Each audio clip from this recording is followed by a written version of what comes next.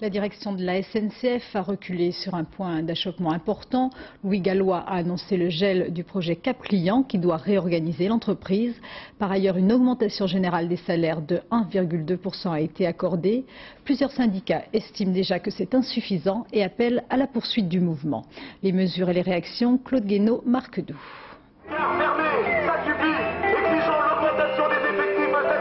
Le siège de la SNCF ce matin, les syndicats avaient planté le décor. Trois points étaient à l'ordre du jour des négociations, les salaires et les retraites, l'emploi et aussi le projet de réorganisation de la SNCF baptisé Cap Client.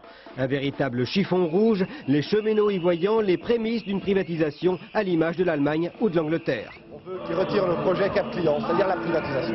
On veut pas de privatisation pour la sécurité des voyageurs et pour nous.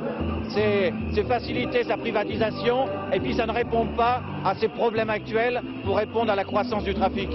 Mais dès le début de la négociation, Louis Gallois s'est employé à désamorcer la bombe. Il a décrété une pause dans le processus de réforme de la SNCF, un gel du projet Cap Client pour rediscuter avec les syndicats. Aborder sous un nouvel angle ces problèmes d'organisation, en regardant ce qui peut améliorer la qualité et la sécurité du transport ferroviaire.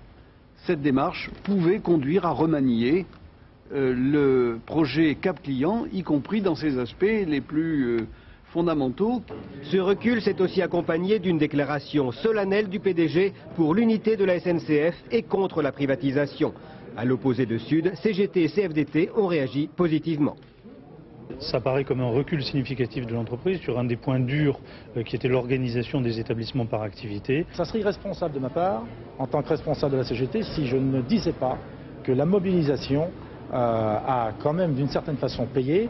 Dans la négociation, la SNCF a aussi lâché 1,2% d'augmentation des salaires et 1000 emplois supplémentaires. Mais bilan de la journée pour Sud, négatif.